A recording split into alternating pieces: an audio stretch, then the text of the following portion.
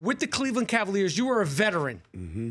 and, and and you were a confident. Let's say the word confident basketball player. Yes. You you you you you Very. you were you had bravado. Oh yes. This young kid gets picked up uh, on the team. He's on the cover of this magazine, cover of that magazine. I saw LeBron uh, on this channel, that channel. He's dunking over pimple faced punks in Akron. I was like, uh, yeah, let me see some real action. Yeah.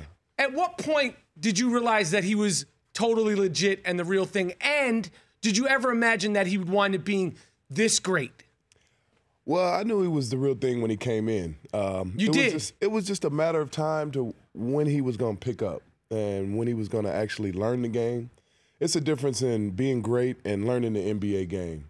And him coming in at an early age, um, I- it, I don't think he was ready, ready as fully his rookie year as he is now.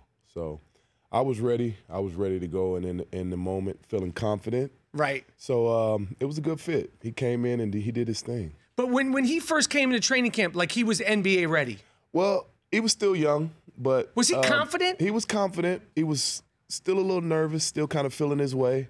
Um, but you know, he had a lot of hype to live up to, um, and it, it was tough to live up to that hype. But uh, he played hard, and you know, he had that green light, so it's kind of easy. Now you you you played in an era that when when when LeBron came in there, there's Kobe, there's AI.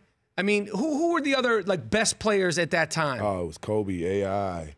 Um, you know, you, you had Ron Artest. You had those guys down in Indiana. It was it was tough, and it was actually the the era where no boys were allowed. You know, that's what the NBA used to stand for. No boys allowed. So, you know, Bron coming in at an early age, kind of, you know, he changed it up. The Rich Eisen Show, weekdays at noon Eastern on radio stations across the country and audience.